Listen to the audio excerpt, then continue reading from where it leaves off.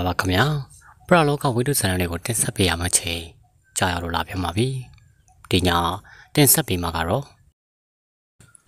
စာရေးသူမောင်မညိုချောင်းဦးရဲ့အယက်သမားဆံမြင့်ဆိုတဲ့ဇာတ်လမ်းလေးကိုတင်ဆက်ပေးသွားတော့မှာပဲဖြစ်ပါတယ်သူ့ကိုတရက်ကွက်လုံးကလည်းမေးနေပြီရှင်းရှင်းပြောရရင်လူလောကမှာတူးတဲ့ချန်တော့တဲ့သူ့ရဲ့ညီမလေးကတော့တတိယတော့မှာမဟုတ်ဘူးဘာကြောင့်လဲဆိုတော့ မိသားစုကိုရောရက်ကွက်ကိုပါသူကျေးဇူးပြုခဲ့တာဘာတစ်ခုမှမရှိတော့ပါဒီတော့တန်တစရာတရိယစရာလွမ်းစရာလည်းဘာတစ်ခုမှမရှိဘူးသူ့နာမည်ကစံမြင့်တဲ့ဘဝတစ်ခုလုံးကိုအရက်ခွက်ထဲမှာပဲနှိမ့်မြုပ်ထားတဲ့သူတောက်ပြီးရင်မိသားစုကိုရန်ရှာဖို့ပတ်ဝန်းကျင်ကိုရစ်ဖို့လောက်ပဲစဉ်းစားနေတဲ့လူစားသူတည်တော့အသက်30ကျော်ပဲရှိသေးတယ်40တောင်မပြည့်လိုက်ဘူး မတည်ခင်လအနေငယ်ကလေးကသူ့အုံနောက်ကအခန်းချိုးပြတ်သွားတယ်ပုံမှန်အလုံးမလုပ်တော့ဘူးအဝတ်စားမပါဘဲနဲ့ရှောက်သွားနေလို့ခြံထဲမှာပဲခွေးတကောင်လိုလောင်ထားရသေးတာအဲ့ဒီနောက်မှမကြဘူးသူတည်သွားတယ်သူရင်တည်သွားတာကြောင့်သူ့အမေကနှစ်ပေါင်း20လောက်လူလောကမှာဆက်နေသွားတာတဲ့ရက်ွက်ထဲကလူတွေကပြောကြတယ်သူ့ကိုမြေချပြီးကြတဲ့ကဘသူကမှသူ့အကြောင်းကို မပြောကြတော့ဘူးမှတ်ဉာဏ်တွေကနေစံမင်းဆိုတဲ့အမည်ကိုဖျောက်ပစ်လိုက်ကြတယ်မိတ်ပစ်လိုက်ကြတယ်အခုဆိုရင်နှစ်အစိတ်လောက်ရှိတော့မယ်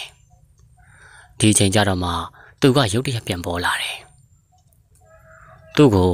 လူတွေပြန်တတိရအောင်လို့လှုပ်လိုက်တယ်အဲ့ဒါကတော့တဆေစံမင်းဘွားနဲ့ပဲဒီတော့မှအယတမဆံမြင်တဆေဖြစ်နေတယ်ဆိုတာလူတွေသိကြတယ် နေညိုချင်းကိုရောက်တိုင်းလှထုံးခြေထောက်တွေက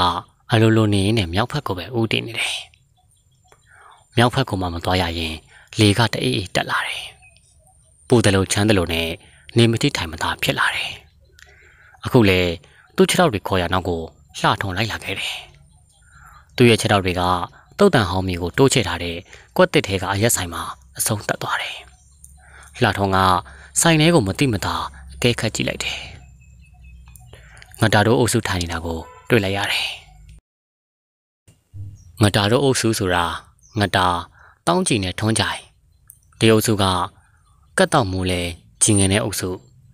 လှထုံးအပြင်မှာပဲထိုင်မှုဆုံးဖြတ်လိုက်တယ်။အရက်တလုံးနဲ့အမီးမှပြီးတော့အပြင်ဘက်စပွဲကုံမှာပဲအေးဆေးဆေးထိုင်တောင်းနေလိုက်တယ်။တလုံးမကုန်ခင်ကလေးကလှထုံးရေချင်းကိုင်းနေပြီ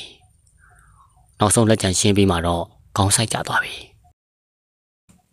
အဲ့ဒီချိန်မှာပဲသူ့ရှိကိုလူတယောက်လာရတာတွေ့လိုက်ရတယ်။အဲ့ဒီလူကအရက်အမြင့်ကြီးနဲ့စပင်ရှိရှိကလည်းဖယိုဖယဲနေပဲ။ဘာတူလဲ။မောင်ဝါနေတဲ့မျက်လုံးတွေကိုအတင်းဖြဲပြီးတော့လှထုံးကြည့်တယ်။ဒါပေမဲ့သူ့ခေါင်းတွေထူလို့မရတော့ဘူး။ဇပွဲဘော်ကိုမျက်နှာမှောက်ကျသွားတယ်။အဲ့ဒီချိန်မှာ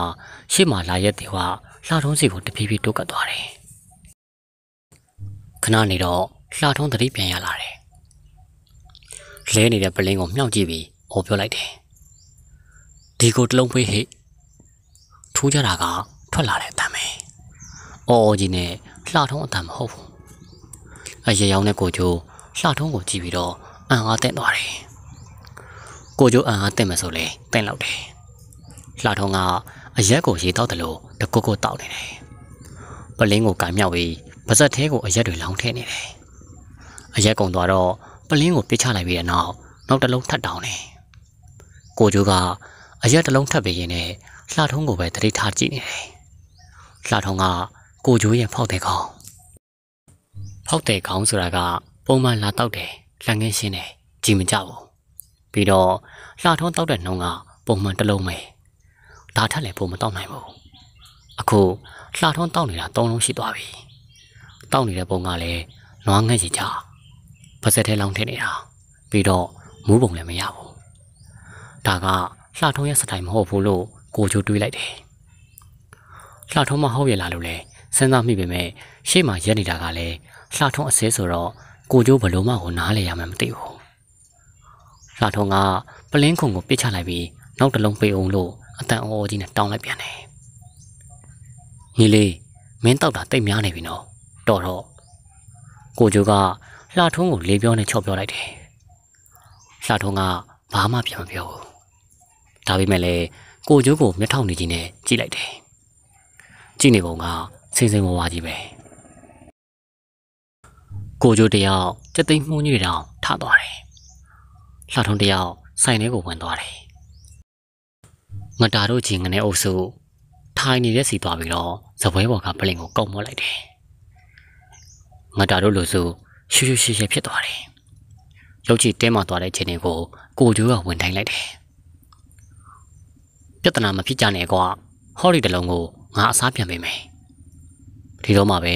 ငတာတို့အုပ်စုငြိမ်သွားတယ်ကိုကျိုးကလှထုံးရဲ့ပခုံးကိုဖတ်ပြီးတော့အပြင်ဘက်ကိုထုတ်လိုက်တယ်ပြီးတော့ကိုတိုးဆိုင်ကားပေါ်တင်ပြီးအိမ်ပြန်ပို့ခိုင်းလိုက်တယ်ကိုတိုးကစိုက်ကားကိုကတ်တရလမ်းပေါ် တွန်းတင်လိုက်တယ်ဟာဘလို့ကြီးလေဟာလေးလိုက်တာဟုတ်တယ်စိုက်ကားပေါ်မှာထိုင်နေတာလှထုံးတယောက်တည်းပဲဒါပေမဲ့ကိုတိုးကတော့လူကြီးနှစ်ယောက်တင်ပြီးတော့နင်းနေရသလိုလေးလံနေတယ်စိုက်ကားကကလာတရာကိုကြော်ပြီးတော့ဘိုးတဲရက်ွက်ထဲကိုဝင်လာပြီလှထုံးရဲ့အိမ်ရောက်ဖို့တော့လိုသေးတယ်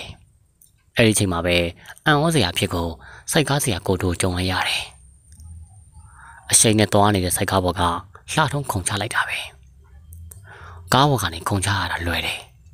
ကားကရှေ့ကိုသွားနေတာလူကနောက်ပုတ်ကနေခုန်ချရတာကျွမ်းကျင်ရင်ဘာမှမဖြစ်ဘူးစိုက်ကားဘော်ကခုန်ချဖို့ကမလွယ်ဘူးစိုက်ကားကရှေ့ကိုသွားနေတာရှေ့မှာထိုင်နေတဲ့လူကခုန်ချရင်အဲ့ဒီလူကိုစိုက်ကားကပြန်တိုက်မိမှာအသေးကြပဲဒါပေမဲ့အခုလှထုံးခုန်ချလိုက်တာက လဲမှုတစ်ပွင့်လေးလေထဲကိုဝဲပြီးတော့မတိုက်မိအောင်ခုန်ချလိုက်တာစိုက်ကားနှစ်ဘေးမှာအသားလေးကျသွားတယ်ကိုတို့တယောက်ပါဇက်ကအဟောင်းသားဖြစ်သွားတယ်အိမ်မက်မက်နေတာလားအမှန်တကယ်ပဲဖြစ်နေတာလားမယုံနိုင်အောင်လည်းဖြစ်မိတယ်ဟဲ့ကောင်လှထုံးမင်းဘာလို့ခုန်ချရတာလဲမင်းအိမ်ရောက်သေးဘူးလေကိုတို့ကစိုက်ကားဘရိတ်အုပ်ပြီးတော့လှထုံးကိုပြောလိုက်တယ်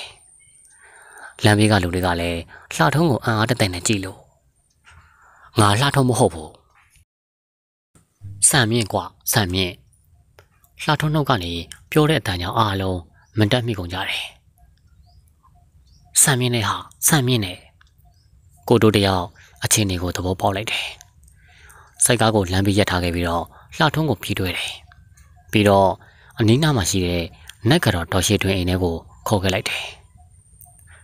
ငါဆန်မြင့်กว่าဆန်မြင့်လှထုံးပါဇက်ကလည်းတွတ်တွတ်ပြောနေတော့မယ်ဆန်မြင့်တေတာကြပြီအသက်အစိတ်30လှထုံးလိုလူငယ်တွေတောင်မှဆန်မြင့်ကိုသိမှာမဟုတ်ဘူးဒါဆိုရင်တော့ဆန်မြင့်ကဒေါက်တင်ရွှေကမေးတယ်ဟုတ်တယ်ကျုပ်တော်မလေးသားဆန်မြင့်မယ်နင်းအခုပမာနေတာလေဟိုတုန်းကတော့တုတ်တန်ဟောင်းထဲမှာနေတယ်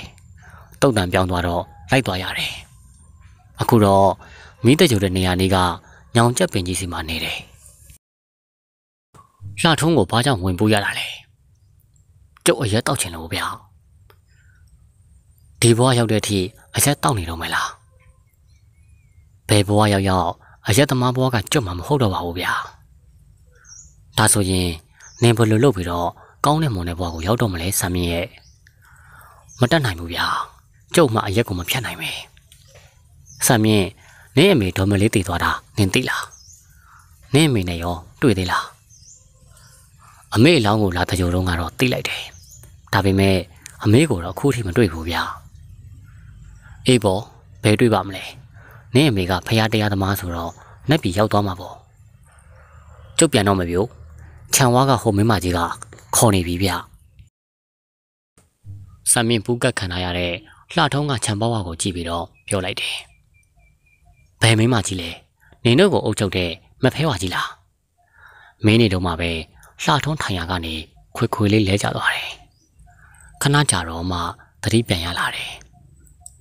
ကျုပ်ဘယ်လိုလုပ်ပြီးတော့ဒီကိုရောက်လာတာလဲလို့နားမလည်နိုင်တယ်လို့ပြန်မေးတယ်ကိုတို့ကလည်းအကျိုးချောင်းကိုရှင်းပြတယ်အမေသားစားခြင်းလို့စက်သားဝတ်သားစားခြင်းလို့တစိကတ်တာတရေပူတာပဲကြားဘူးတယ်အရက်တောက်ခြင်းလို့ပူတဲ့တရေတော့ အရက်သမားဆံမြင်သေးမှပဲကြားဘူးတော့တယ်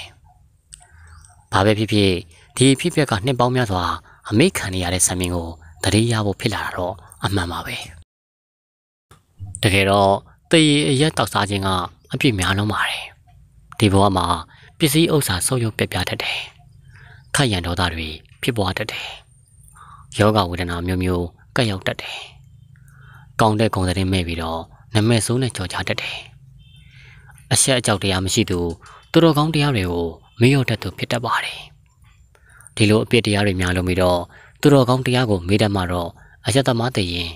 ပိတ်တောင်ပုံရောက်တစီတရေဖြစ်တာမဆန်းလာပါဘူးအသက်ရှင်တဲ့ကကောင်းမှုကုသိုလ်တွေပြုခဲ့ရင်တော့မှပိတ်တာတစီတရေဘွားကလုံးမကောင်းမှုအချို့ကိုခံစားရမယ်ထင်ပါတယ်။ဘာကြောင့်လဲဆိုတော့တေဂန်ဒီအာတနာကန်စောထင်တဲ့အခါကောင်းမှုကုသိုလ်တရားတွေကိုမေ့လျော့နေတတ်တာကြောင့်ပါပဲ။ အယက်သမားဆက်မြင်လဲ